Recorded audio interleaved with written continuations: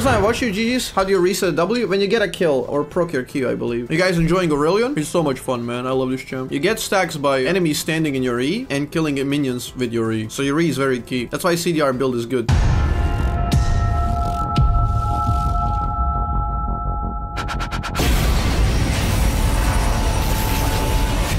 What do you think, chat? What do you think about the build? We can go Crown, we can go Everfrost, we can go Rod. No thoughts? Brain smooth? Riftmaker? Can't really do it though. You're out of mana with Riftmaker, nothing will save you. Man, that was so bad. Yeah, Crown might be optimal. I'm not joking. Crown might be the way to play. How is match against Orianna? Should be alright. Better than LeBlanc. I just started playing this champ, guys. I know as much as you know. I'm just learning as I go, you know? Using knowledge I have of Orianna. Trying to figure out what we can do. Like, I'm thinking if she queues forward, I can jump at her and spam my Q, but I will run out of mana. Like, I'll probably run out of mana before, like, I can kill her, so... It's not even worth to run your mana down for a trade. That's what I'm thinking. I'm getting stacks like this here and there, you know. I don't know how worth it is to focus on stacks early. I lose some of my mana trying to get some stacks. But I think it's also like creating pressure in lane, which is decent.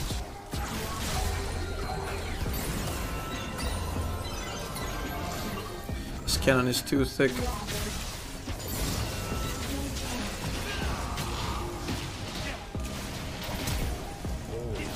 My bad there, positioning. Uh, we're alright though. I'll do the crown again, but I'm gonna get this first now. That's the thing I forgot last time. I forgot. Man! My W is so sad at this stage when you compare it to last game. Tiny dragon with a tiny PP. Can't fly. We're not losing on Aurelion, that's what matters. Fuck Vel'Koz, dude. Dog shit champ. Losing on Vel'Koz is a given.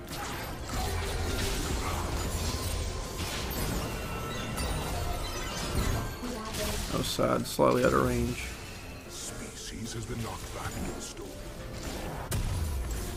Fair enough. Tip of the day, Vel'Koz dog should stop playing. True. It's all about the Aurelion, man. Nah, this champ is too good. It's so much fun. I absolutely love it. Yeah, all the abilities are just badass.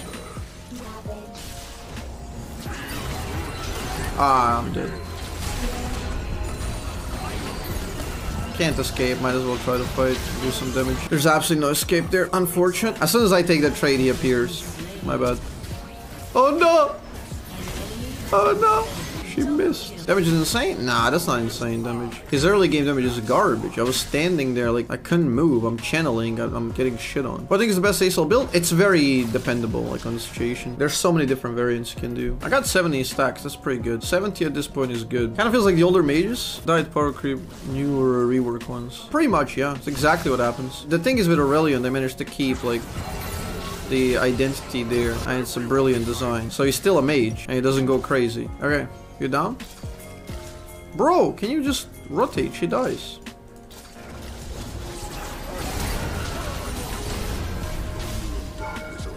Yeah, unfortunate. Good flash though. Good flash by her. Probably shouldn't have ulted there in retrospect. Leave will be coming. I'll wait for my crown 100 gold. Where's he gonna defend here? Kill Tibbers!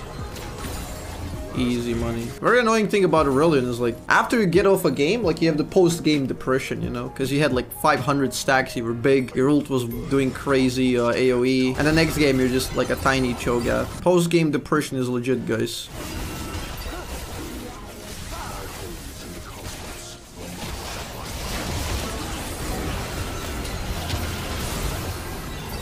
She got paralyzed. She had no idea what to do. She was so confused.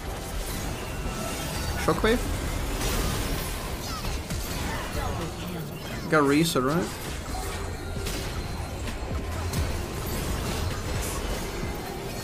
Nah, she flashed. Yeah, Senna was gonna heal me after. That was nice play though. Very nice play. Damage insane for just one ability. The thing is, it's like the entire kit revolves around that ability. So it's not quite insane for like one ability. It's just, it's really how, how you position it, how well you use it. That's like saying like all the damage from Yi comes from like auto attacks, you know? He just has to jump on you and then you die. I mean, that's kind of like the, the, the point of the champ. Exactly like old W was.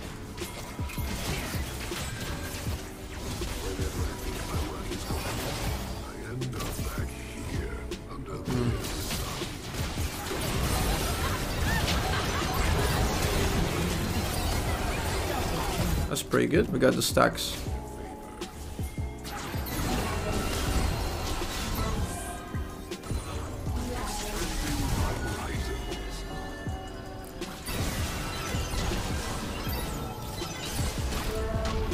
Let's try. She might greed. Oh, he gets her. We're microwaving him.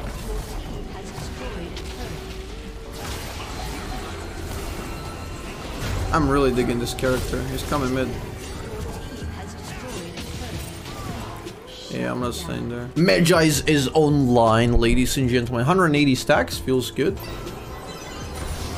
I need the big ult. Nah, Demonic isn't that good. Demonic is just a complete bait of an item. It smells good, but once you eat it, it's terrible. Well, not terrible, but like it can synergize, especially when you're running build like this. But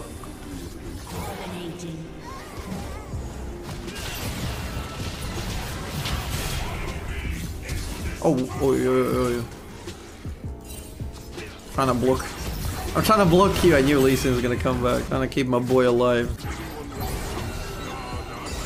Stardust! Give it here. Give me all your Stardust.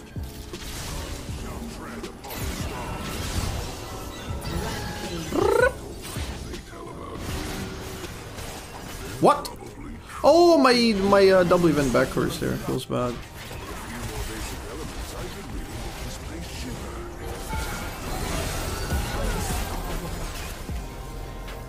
Heal!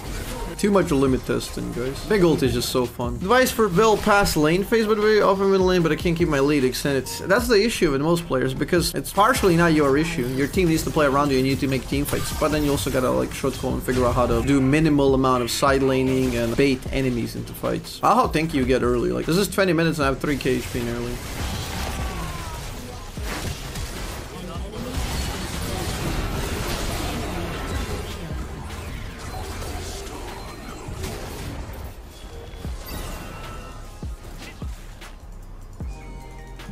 Tibbers is given vision.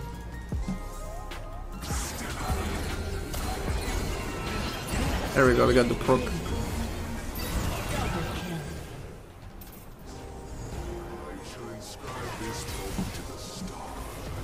Ah, go on. Man, he's so sexy with a clear. So fun to play. Recent kills kind of disgusting. It's something that gives you agency in solo queue. Shouldn't really break any uh, real games, you know? But for solo queue, it gives you a lot of agency. This is where you get to play. This is where you're like doing Aurelion stuff.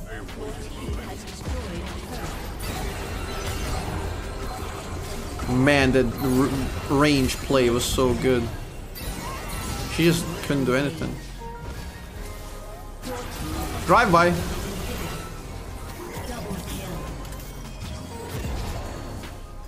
Are you kidding me? Ah, oh, yes. Oh, that's so good. Oh, I can't believe it, man. This champ is so fun. It's so fun. So goddamn fun.